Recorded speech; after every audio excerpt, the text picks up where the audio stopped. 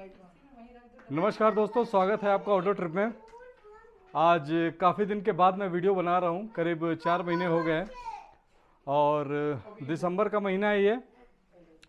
तो आज अपना प्लान बना है साउथ इंडिया ट्रिप का। तो अभी हम जा रहे हैं कोयम्बटूर त्रिशूर, वायनाड। तो मेरे एक फ्रेंड हैं, आलोक, और हम लोग जब हैदराबाद गए थे करीब एक साल पहले तो काफ़ी वीडियो मैंने बनाया था इनके साथ। और अभी ये बेंगलोर आए हुए हैं हमसे मिलने और इनका भी प्लान बन गया है मेरे साथ घूमने का।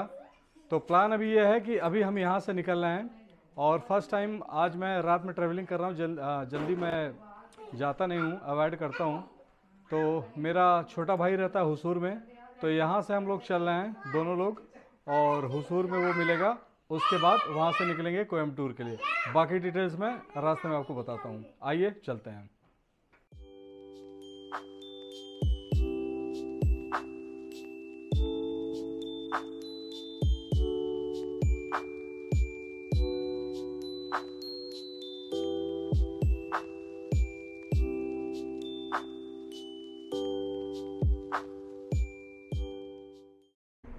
तो दोस्तों फाइनली हम लोग आ चुके हैं हुसूर और यहाँ पर मेरा भाई आ चुका है। तो अपने पास अभी दो गाड़ियाँ हैं, टाटा पंच और बेलेनो। और हम लोग सिर्फ़ दो गाड़ियों में जा रहे हैं और कुल मिलाकर हैं बारह लोग, बारह ने ग्यारह लोग। तो पहले प्लान था तीन गाड़ियाँ आने का, मैं अपनी कार नहीं लाया क्योंकि मेरा भाई अभी उतना कंफर्टेबल नहीं है हिल स्टेशन पर चलाने के लिए। और ईशा फाउंडेशन जहाँ हम लोग जा रहे हैं कोयम्बटूर वहाँ से आगे हम लोग जाना है वलपराई। तो वो थोड़ा सा हिली एरिया है। तो अभी ये हुआ कि हम लोग किस तरीके से एडजस्ट करके चलेंगे।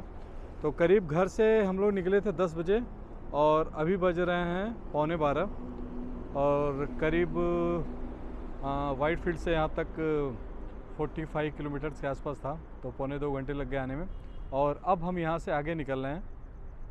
तो कोयम्बटूर बेंगलोर से अराउंड 400 किलोमीटर से पे है और यहाँ से करीब 350 तो धीरे धीरे चल रहे हैं आराम से। जो भी होगा रास्ते में डिटेल आपको मैं बताता रहूँगा। आइए चलते हैं।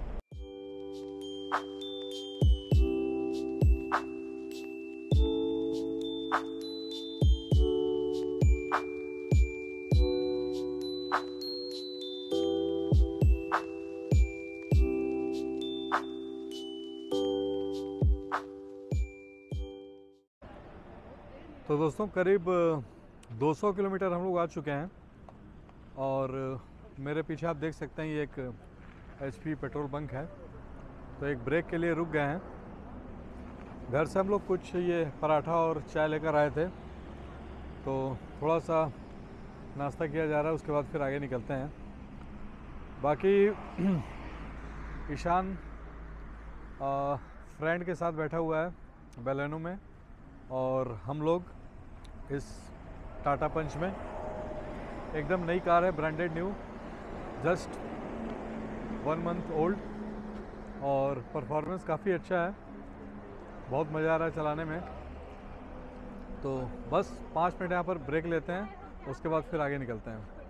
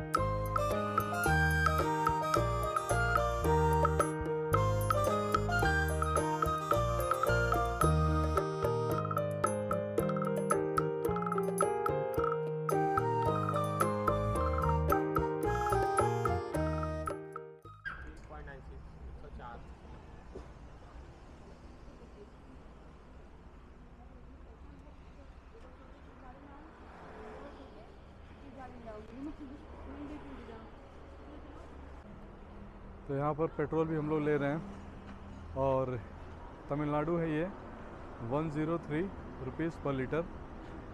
अभी पीछे एक जगह रोके थे, लेकिन वहाँ पर सिर्फ़ वो कैश ले रहा था। तो थोड़ा सा वहाँ पे लिया था, बाकी यहाँ पर अब हम लोग टैंक फुल करा कर आगे निकल रहे हैं। चलिए, आगे चलते हैं।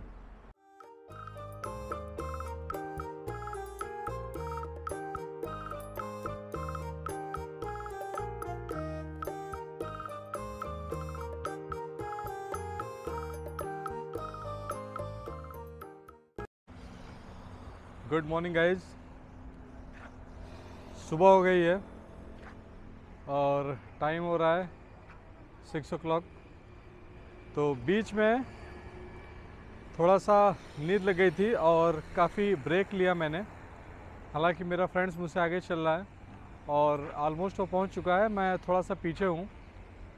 तो अभी यहाँ पर एक पेट्रोल बंक था।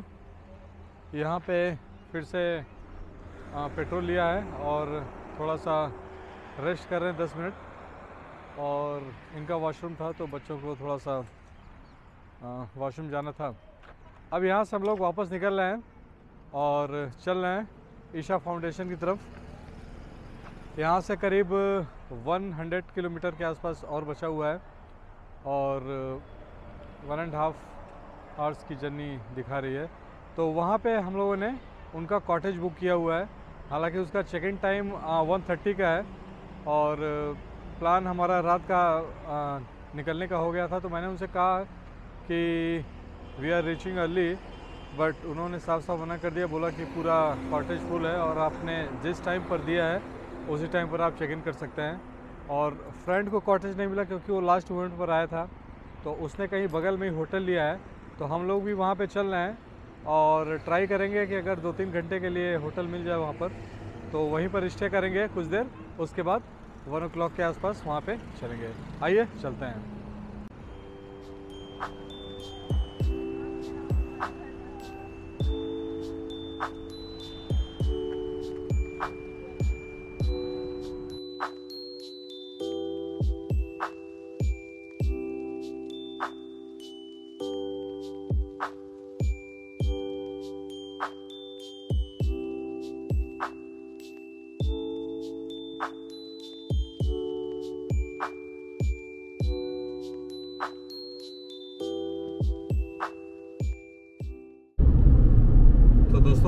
हम लोग आ चुके हैं कोयम्बटूर और यहाँ से 50 किलोमीटर्स के आसपास और है आदि योगी।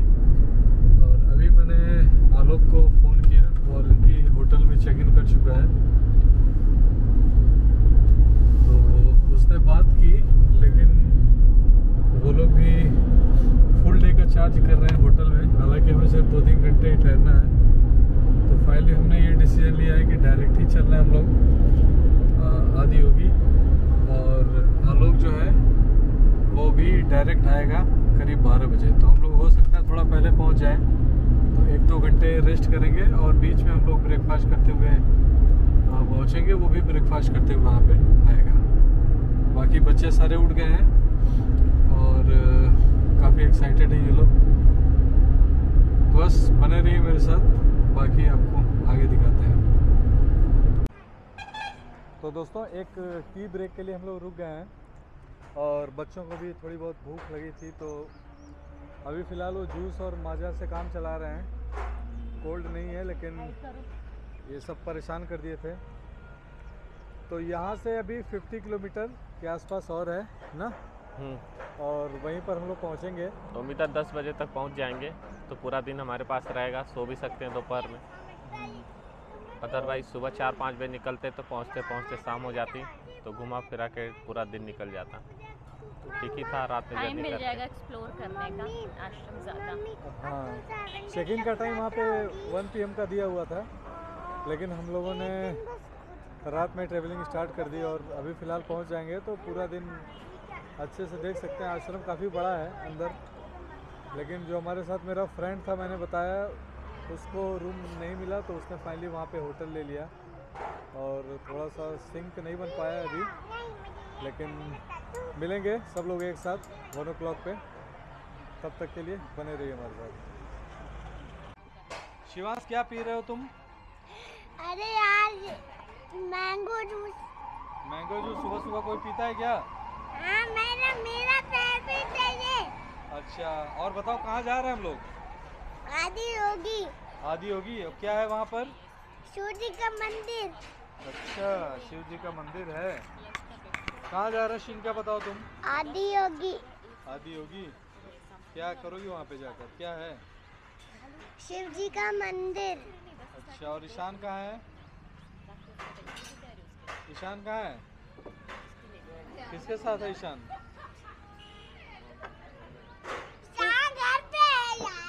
ईशान घर पे नहीं है। आलोक अंकल के साथ है ना? प्रतीक, गाड़ी तुम्हारी कैसी चल रही थी? गाड़ी एकदम ज़बरदस्त चल रही थी, कोई तकलीफ़ नहीं थी। 100 110 120 तक हमको लग रहा है जा रही थी, कोई बिना किसी वाइब्रेशन के। पूरा कंफर्ट था। रात में भी जर्नी हुई, सुबह भी जर्नी हुई, कोई दिक्कत नहीं है हाईवे पर। और बाकी सिटी में तो हम चलाएँ हमको कोई ऐसा तकलीफ़ महसूस नहीं हुआ। ऑटोमेटिक का परफॉर्मेंस एकदम सही है। नहीं गाड़ी अच्छी है। तो दोस्तों टाटा पंच इन्होंने ली है अभी रिसेंटली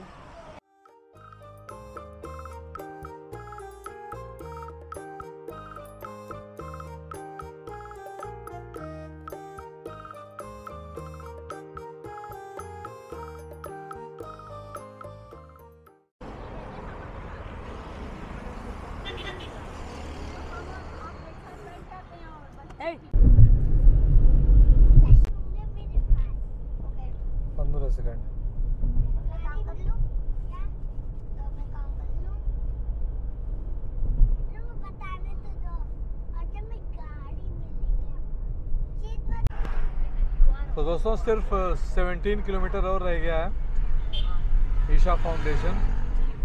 और थोड़ा सा मिस्टेक हो गया हम लोगों से। बाईपास पकड़ना था, लेकिन गलती से आ गए कोयम्बटूर सिटी के अंदर और काफ़ी घुमा कर ये लेके आया है। तो बस सिर्फ़ 20 मिनट्स का रास्ता और रह गया है।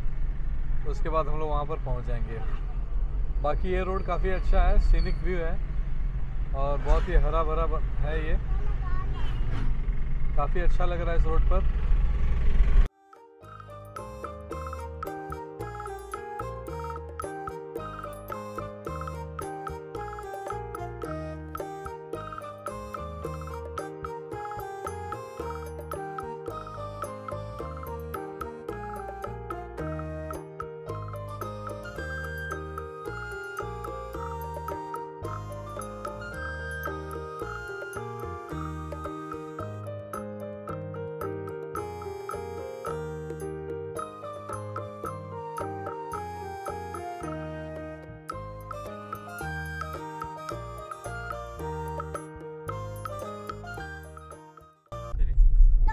दोस्तों ये आपने देखा ये गेट था पीछे और आगे ये रास्ता जा, जा रहा है आश्रम की तरफ़।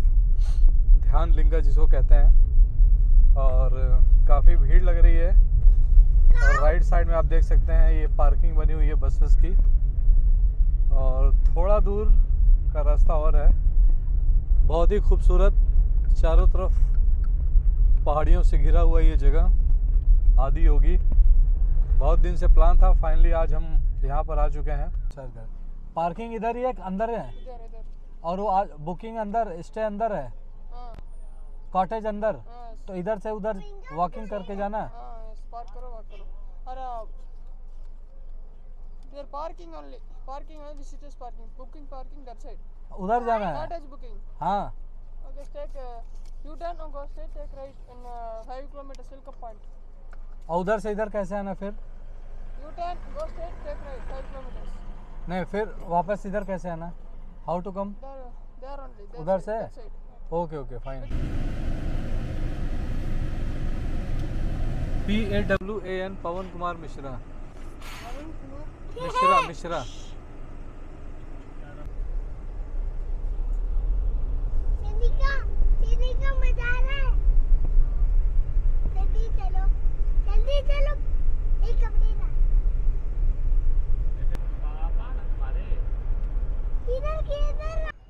तो दोस्तों फाइनली हम लोग पहुँच गए ईशा फाउंडेशन और, जैसा कि मैंने बताया, मैंने कॉटेज बुक किया हुआ है। और मेन आदि योगी का स्टैचू जो मैंने भी आपको दिखाया था, उसी के बगल में कॉटेज है। तो पहले हम लोग वहाँ कॉटेज में गए और वहाँ पे हमें चेक इन करना था। तो सिक्योरिटी गार्ड ने बताया कि कॉटेज की पार्किंग अलग से है। आप वहाँ पर जाइए पार्क करके आइए।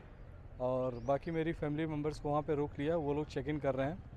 और विजिटर पार्किंग अलग है कॉटेज की पार्किंग ये मेरे पीछे मैंने गाड़ी खड़ी कर दी है। और अब मैं जा रहा हूँ अंदर चेक इन के लिए। और इसी बीच मेरा फ्रेंड आलोक, जो कि मैंने बताया, उसने बुकिंग बाहर की हुई है, क्योंकि यहाँ पर मिला नहीं। तो वो अभी आ रहा है, फिर हम लोग मिलके बाकी चीज़ें देखेंगे। तो इस वीडियो में इतना ही, बाकी वीडियो नेक्स्ट पार्ट में आप देखते रहिए। तो please like and subscribe my channel मिलते हैं जल्दी. तब तक के लिए टेक केयर बाय बाय